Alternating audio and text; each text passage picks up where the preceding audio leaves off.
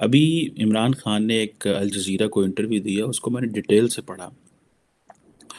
अच्छा, उसमें वो कह रहे हैं कि जनाब इंडिया जो है आज एशियन टाइगर बना हुआ है। अब मुझे ये समझ नहीं आ रही क्या ये नवाज़ शरीफ जो उनका मेन ओपोनेंट है उसकी मुखालफत में कह रहे हैं? क्योंकि उसने कहा था कि पाकिस्तान एशियन टाइगर बनेगा या वो वाक़ई कह रहे हैं? जब वो हुकूमत में होते थे तो स्वाय नरेंद्र मोदी को और भारत को गालियाँ देने के अलावा कुछ बोलते नहीं थे और जब ऑपोज़िशन में जाते हैं तो बातें सच्चाई बात करनी शुरू कर देते हैं। और वो कहते हैं जी ये जो एशियन टाइगर्स हैं चाइना और इंडिया ये जो हैं इन्होंने एक्सपोर्ट्स की, ये की, सो की, वो किया। अब ये क्वेश्चन ये आ जाता है कि हमारी जो लीडरशिप है, ये हमारे साथ इस तरह कब तक ये झूठ बोलती रहेगी? अच्छा मज़े की बात यह है कि हमने 80,000 बंदे जो है वो पाकिस्तान की दहशत गर्दी की जंग में चले गए हैं और इमरान खान कहता है ये so called war and terror है। मतलब 20 साल पाकिस्तान दहशत गर्दी की जंग जंग लड़ लड़ के थक गया। बंदे मर गए, अरबों डॉलर का नुकसान हो गया, मुआशरा टूट गया जिसे कहते हैं ना कुछ नहीं रहा हमारे मुआशरे की वो जो जो मेन शक्ल बदल गई बदल गई और हमारी जो लीडरशिप है वो ये कह रही है कि जी ये तो so called war and terror. अब ये जो क्वेश्चन है कि आपने इंडिया को पहले गालियाँ देते थे, ठीक है? और अभी आप समझते हैं कि इंडिया जो है वो आपका वो क्या नाम है उसको इस तरह की बातें कह रहे जैसे पता नहीं कि इंडिया ही सबसे बड़ा जो है वो मुल्क है, उसके बगैर अब हमारा गुज़ारा नहीं है।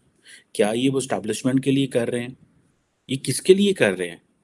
ये इमरान खान साहब को ये जो ये जो लीडरशिप है हमारी ये हमें कब तक ये धोखा देते रहेंगे और हमारे साथ वो जो खुल के बातें करने वाली होती हैं वो करेंगे।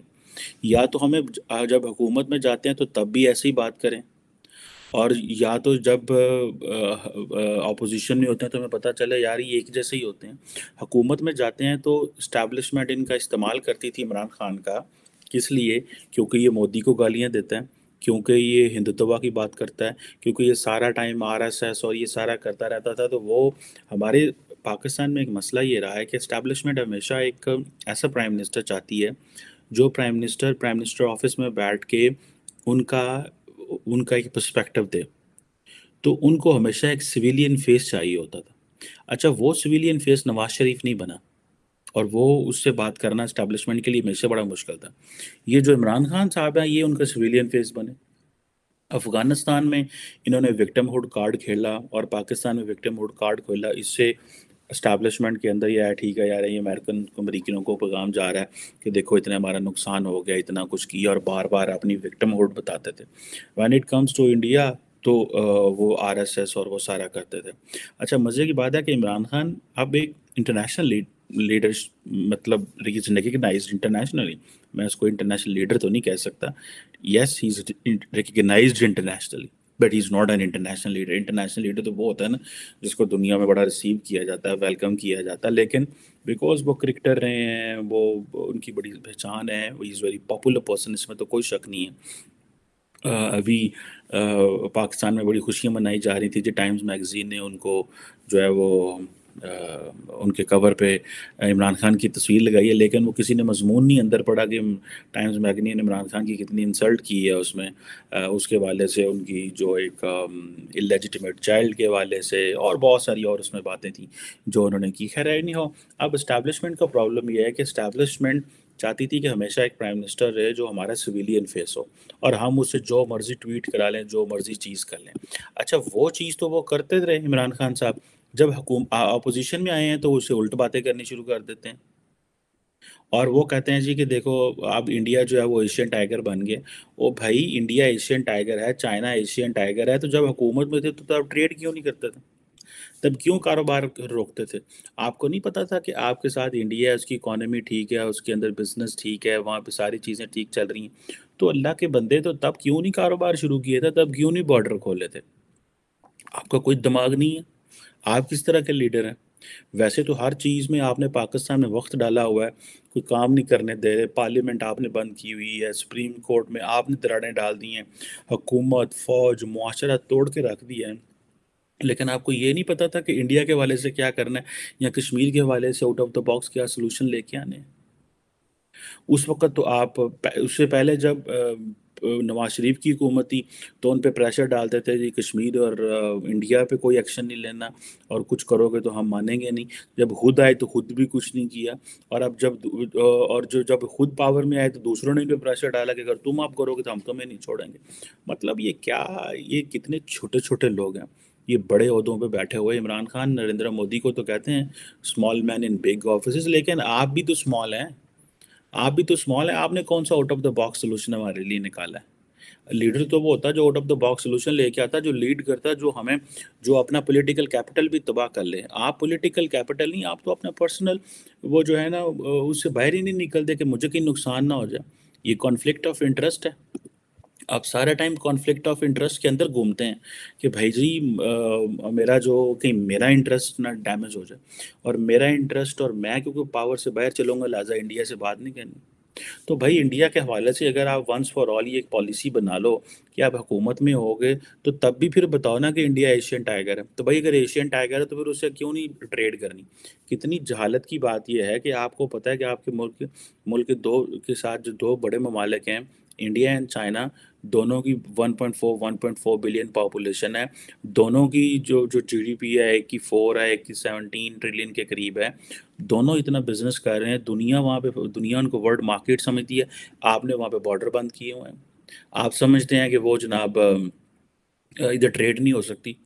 मैं तो पहले कह कह के थक गया हूँ, मैं तो यहाँ पे हर बंदे को कह के थक गया हूँ, ये कितनी जहालत है कि जिस मुल्क में प्रॉस्पेरिटी है, वहाँ बिज़नेस है, वहाँ इकोनॉमी चल रही है, वहाँ पे आईटी है ट्रेड है, दुनिया वहाँ पे आके फैक्ट्रियाँ लगाने की बातें कर रही है।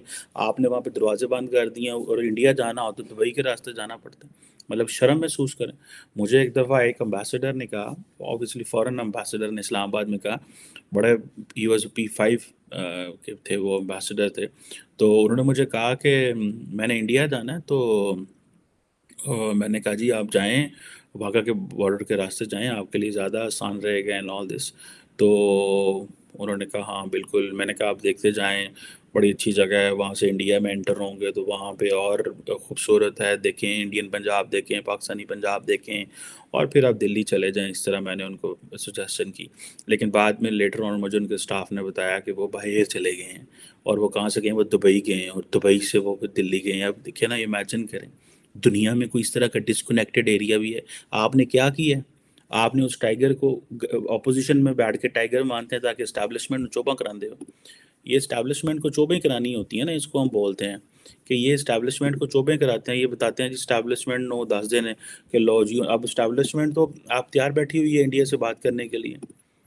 ठीक है जी, ये तो आपका काम था, रास्ता तलाश करना। अब इस्टेब्लिशमेंट जो है, उसने तो ये भी सुनने में आ रहा है कि उस वक्त बिपिन रावत साहब से जनरल बाजवा ने कॉन्टैक्ट किया। बैक जनरल लेकिन बिपिन रावत ने कहा कि मेरी इतनी पसली नहीं है बिकॉज़ हम इंडियन आर्मी चीफ इतना ताकतवर नहीं है कि मैं बात नहीं कर सकता। फिर सुना एन एस लेवल पर चीज़ें चली। फिर और जो है वो सारी बात अब वहाँ पे पॉलिटिकल लीडरशिप ज़्यादा मज़बूत है। तो वो वो चीज़ें करते। सो क्वेश्चन यहाँ पे ये आ जाता है कि आपने भाई क्या किया? आप क्या करते आपने आउट ऑफ़ द कौन सा out of the box solution ढूंढा? इंडिया की जो जो वो जो जीडीपी है पर कैप्टा वो तो दो हज़ार डॉलर है। आपके, आपकी, आप पच्चीस करोड़ लोगों के लिए आप वो तेरह चौदह सौ डॉलर है। तो आपने क्या किया? आपने हमें कौन सा out of the box solution दिया? सिर्फ़ कहानियाँ। जब हुकूमत में हो तो गालियाँ। इंडिया को दो जब ताकि वो आवाम को खुश करो, देखो जी वज़ी अजम झुका नहीं है, बिका नहीं है, डरा नहीं है। और इस्टबलिशमेंट भी उस वक्त, चलो जी, ठीक है, इतना होना चाहिए। चलो जी प्राइम मिनिस्टर की ट्वीट आप ट्वीटें देखें इमरान खान की। देखें ना ट्वीट्स की, किस तरह की दर दर रोज़ ट्वीट्स करते थे। आर एस एस फाशिज़म ये, वो कश्मीर के ऊपर आपकी पॉलिसी कोई नहीं थी। सड़कों पे खड़े हो जाते थे आप और कहते थे, अपनी सड़कों पे खड़े हो के बाहर, चलो जी यार, हर जुमे को हम प्रोटेस्ट करेंगे। इस तरह भी को दुनिया में करता है, जो आपके पास कोई सोल्यूशन ही नहीं है। सोल्यूशन तो मोदी के पास था, उसने जो कश्मीर का करना था, कर लिया, बाद में आपको कहा, जो मर्ज़ी ट्रांसलेशन करते रहो। जाओ, जो करना है कर लो, मैं नहीं करता। आप पहले डेढ़ साल बैठ के इंतज़ार करते रहे, मोदी इलेक्शन जीते, फिर मैं उससे बात करूँगा, उसने आपसे बात ही नहीं की। ओ भाई, ये फॉरेन पॉलिसी फिर उन्होंने सर्जिकल स्ट्राइक कर दी इंटरनेशनल कम्युनिटी ने उसको रिकगनाइज ही नहीं किया कि ये आपके आपकी जो है वो वायलेशन हुई है। तो आप क्या कर रहे हैं? नई ड्रामेबाजियाँ कहानियाँ सानू सुना रहे हो अपोजिशन में बैठ के उनको टाइगर कहते हो, हुकूमत में बैठ के उनको गालियाँ देते हो। तो ये डबल स्टैंडर्ड्स हैं जो पाकिस्तान की जो सरकार है इसको वंस फॉर ऑल ये ख़त्म करने चाहिए। अगर आपके अंदर इतना जिगरा है तो अपोजिशन में बैठ के भी फिर गालियाँ दो ना। अपोजिशन में बैठ के फिर इस्टेब्लिशमेंट को चोबे ना कराओ और कहो कर और और ये देखे ना पाकिस्तान इमरान खान कहते हैं जी कि so called war and terror भाई so called war and terror अब पाकिस्तान एक कटा दे साथ जंग लड़नी है जिसका लीडर अलकायदा के जो टॉप टेररिस्ट है दुनिया का आ, क्या नाम था उसका? बिन लाडन उसको पार्लियामेंट में खड़ा हो गया था शहीद वो वो तो उसकी, वो तो वो तो मार्टर। जो फॉरेन मिनिस्टर उस मुल्क का, वो कहता है, मैं सवाल का जवाब ही नहीं देना, वो मार्टर है कि नहीं? तो फ़ौरन दूसरा दहशत गर्दी थी जंग कटा सा लड़ी। ठीक है, ये तो अवाम ने अपनी जानें दे के लड़ी और फौज ने लड़ी है। फौज को ये था कि उनके जारी बात है, उनके ऊपर तो अंसलाट आ गया तो उन्होंने तो लड़ना ही लड़ना था। अवाम ने अपनी जानें दे के लड़ी तो की गया है? आपने तो कन्फ्यूज़न ही क्रिएट किया आपने तो कुछ नहीं किया इमरान खान साहब। सो ये जो चीज़ें हैं दिस इज़ वेयर वही हमें हमें तो इनकी कोई समझ नहीं आ रही कि ये क्या कह रहे हैं और ये क्या करना चाहते हैं और इनका क्या विज़न है। ये सारे के सारे अपनी कुर्सियों के इर्द गिर्द बस बैठना चाहते हैं। ठीक है जी? और अगर उस वक्त जनरल बाजवा की बात मान लेते, इंडिया के साथ कारोबार कर लेते, चीज़ें नॉर्मलाइज कर लेते आहिस्ता आहिस्ता चीज़ें अपने रास्ते पर ट्रैक पर चल पड़ती तो बहुत कुछ हो सकता था। बड़ी चीज़ें बेहतर हो सकती थी। लेकिन ना उन्होंने उस वक्त बाजवा साहब की बात मानी, ना कोई अपना विजन था। मोदी ने वो थ्री थर्टी फाइव या थ्री सेवेंटी चेंज कर दिया तो हाथ पैर फूल गए। ठीक है? अभी वैसे रिसेंटली मुझे किसी ने बताई है बात I don't know it is a fact और नॉट कि सुनने में आता कि जनरल बाजवा को पहले ही इंडिया ने कि ये बताया हुआ था कि हम ये करने वाले हैं। या फ़ौज को या कि बैकडोर से या किसी थर्ड कंट्री को बताया हुआ था। कि हम ये चीज़ें करने वाले हैं। सो पाकिस्तान ने कहा, ठीक है, आप कर दें, देखी जाएगी। लेकिन सुना, बाद में फिर जब हो गया public reaction and all that तो उसमें सारे जो है वो बैठ गए। जो लोग बड़े ऑफ़िस में बैठे होते हैं, उनको बड़े स्ट्रेटजिक लेवल पर चीज़ें देखनी होती हैं, उन्होंने मुस्तबिल देखना होता है। और वो मुस्तकबिल देख के मुल्क की बात कर, करते हैं कि इस जो डिसीज़न ले रहे हैं, इसका क्या इम्पैक्ट पड़ता है।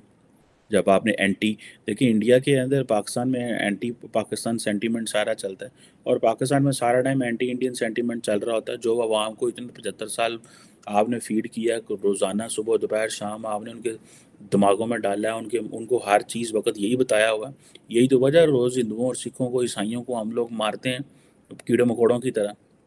और वो इसीलिए मार देते हैं कीड़े मकोड़ों की तरह because at the end of the day वही नो कि किसी ने क्या बिगाड़ लेना, कानून तो कम है, कौन सी सजा दे देनी है? हम तो मुसलमान मेजोरिटी में हैं। तो जब मुसलमान मेजोरिटी में है तो इस केस की पैरवी किसने करनी है?